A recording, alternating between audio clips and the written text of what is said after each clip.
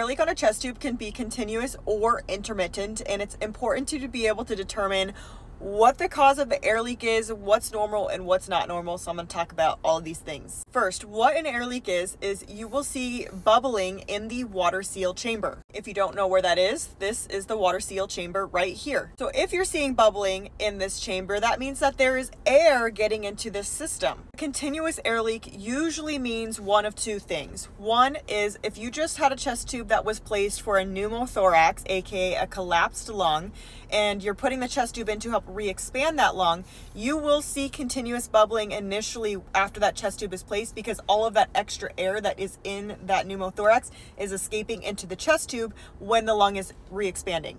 That is normal, that is expected. We want to see bubbling in the water seal chamber after a chest tube is placed for a pneumothorax. This should resolve over time, meaning that it should get less frequent and maybe more intermittent and eventually just taper off altogether.